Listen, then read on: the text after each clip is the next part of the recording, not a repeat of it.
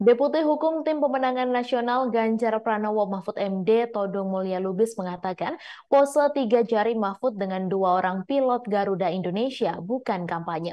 Hal ini merespons adanya pelaporan terhadap Mahfud ke Badan Pengawas Pemilu RI terkait pose tiga jari. Diketahui tiga merupakan nomor urut pasangan Ganjar Mahfud yang telah ditetapkan Komisi Pemilihan Umum Republik Indonesia beberapa waktu lalu. Todong meyakini Mahfud sangat memahami tahapan masa kampanye kampanye pemilu 2024.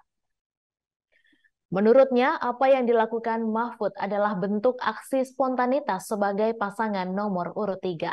Kendati demikian, Todung menegaskan TPN Ganjar Mahfud menghormati langkah dari pelapor tersebut.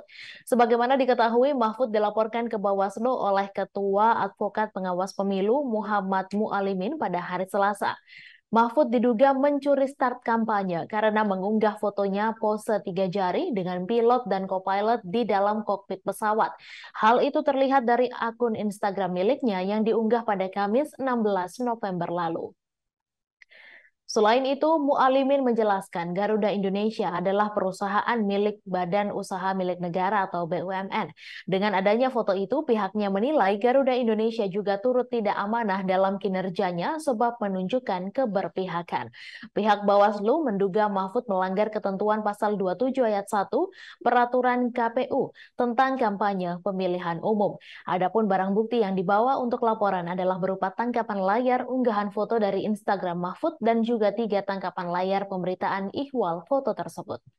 Download Tribun X sekarang, menghadirkan lokal menjadi Indonesia.